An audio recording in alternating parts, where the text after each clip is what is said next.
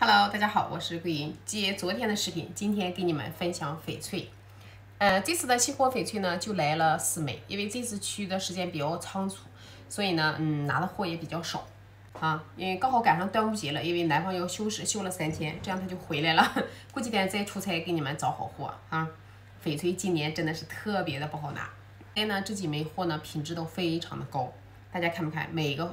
都代表一个系列，这是大树叶，这个树叶呢比我身上戴的这树叶小一点。这个呢是平安五十牌，像一个冰糖块似的，透明的，透字了。这个是鸽子带，玻璃种的，比较大哈。这枚是个小佛宫，这枚佛宫呢也是玻璃种，品质也是非常的好，而且呢都是完美的。款式呢镶嵌都是当下最流行的款，这一款呢我是特意让呢简简单单镶一下。比较好镶，有的客户呢不喜欢特别豪华镶嵌，需要低调一点的，就给大家镶了一枚这个简单一点的。嗯，很多人就会问老板娘，你家树叶最少有十几枚了，怎么为什么还要拿树叶？翡翠就是这样式的，就是每个树叶之间呢它都不一样，而且价位也不一样。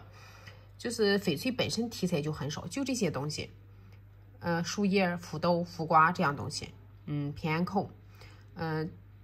这些所有的这些东西呢，就是同品质的情况下，鸽子蛋是最贵的啊。其次就是牌子、扣子，像树叶和佛宫呢，就同品质的情况下要比它便宜。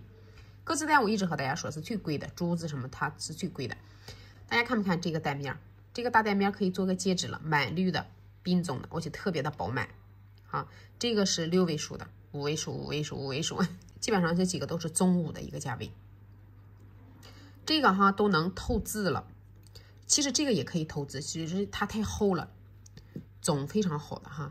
这个小佛宫翡种也非常好，都是，嗯，其实比这个，其实这几枚，其实这几枚要比这个平安无事牌种还要好。大家看没看透字了？而且这个还很厚，一点没有调水哈，整个后面全是平的，特别好。这个简简单单镶了一下，嗯，这树叶品质也非常高。盖儿可以打开，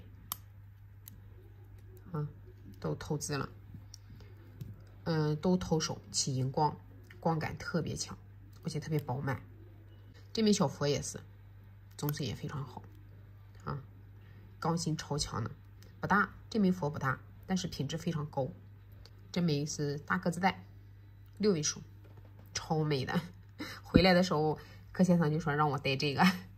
我说我身上的大树叶还没稀罕够，等稀罕够了我再戴这个，真的是超美，特别饱满，镶嵌也是非常的豪华哈。这个大绿蛋太漂亮了，可以做个小戒指了。这个绿蛋面就是五位数，真的是超美的哈，特别饱满。嗯，这是戴呢一套鸽子蛋的效果。